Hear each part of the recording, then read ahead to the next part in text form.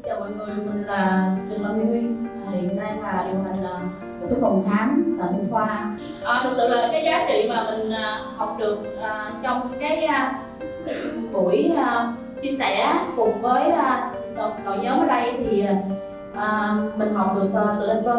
Là anh Vân nói là cái sự gắn kết nó sẽ quyết định rất lớn à, cho cái doanh nghiệp của mình.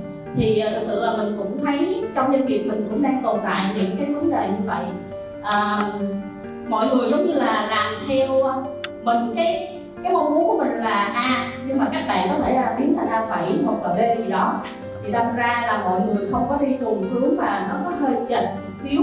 Thì trong cái buổi à, là kế hoạch này thì mình cũng uh, lấy một cái ưu tiên là mình uh, tập trung vào đội nhóm. Và mình thấy là mình hài lòng về cái kết quả mà mình uh, lập kế hoạch.